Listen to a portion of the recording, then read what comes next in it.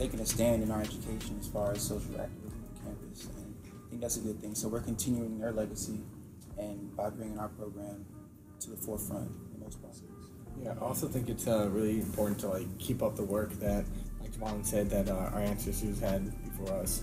And I think that the issues we're dealing with are just as important as they were back then, but like thankfully they're not um, as a big scale as they were. Know, we deal with a lot less riots than they had to. I think that's mostly because of the way we have progressed depending on whether there were students or not. But I think the students had a really like crucial part because this, you know, the kids are the future. So the students are the people who are going to go out into the world to make the change. I think that's one of the things I've I've learned since being here, being in college. You learn about the civil rights movement and stuff like growing up, but until I got to college, I really didn't learn as much as I know now, and I really didn't know the impact that young uh, collegiate, you know, men and women had in playing a part in the civil rights movement. I think that's very empowering. Um, and it's empowered me in so many different ways to kind of go out and try to make a difference and do something to help other people. So, uh, going along with Quinn and how to and how yes, young college students have impacted kind of like the civil rights movement and activism in general. Um, speaking of like the sit-ins that uh, originally started at A and T, um, and it kind of inspires me to be more active and shows that even though I'm in college, I can still have kind of this um, big role in activism and making changes in our community. So the question is, uh, um, does every college student have to be an activist, or is it expected to be an activist? Mm-hmm. I think I think when we think of activists, I think sometimes we think of the marching and the protests and things like that, but you have to realize that in terms of activism, I feel like there's so many different ways you can do it. Right? There's a spectrum, is what I've learned. So um, you have to have everybody doing different types of things in order to reach a common goal. If we all focus on one thing, necessarily it might not be what we need to be done. We need lawyers focusing on uh, making the laws and policies better for us. We need people marching and protesting saying that this isn't right. You know what I mean? We need athletes and people in the media to speak out. We need uh, we need a whole spectrum of things in order to, to make a movement. I, think that when I think of activism, I definitely think of standing up for what you believe is right, and I do believe that us, all of us as humans, we do have, we should stand up for what we believe is right.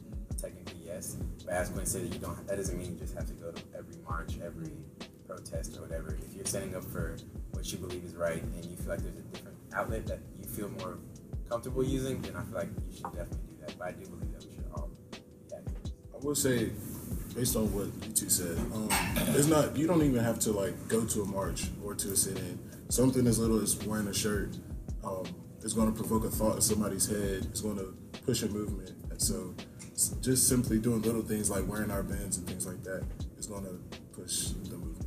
Yeah, like going off of that, I think you know, just even from like an RA standpoint, um, at like at home, what we need to do to like make those changes is just have those discussions with other people who don't share the same opinions as us. Because, like we said, if you're going out on those marches, which can be like on a very grand scale, like I know a lot of people that see those marches and they don't even want to know like what what they're doing. It's like oh they're overreacting about something, but like you can't you can't like easily disregard something when someone's in your face talking to you, asking like why you believe what you do is right or like why you don't stand up for this or that. And I think it's very important to like to uh, change this when people don't have those discussions like when they're in their own home. I think it's important too to acknowledge, like, when you're thinking about activism and things like that, or having these discussions going off what you were saying. Um, I think it's also one of those things where we have to think about where people come from, right? You know what I mean? Like, we're all taught to live a certain way. We're all taught different beliefs and things like that. So, um, without making any assumption or anything like that, depending on where you come from, you might have been taught or raised a certain way, right? You might have a specific perspective.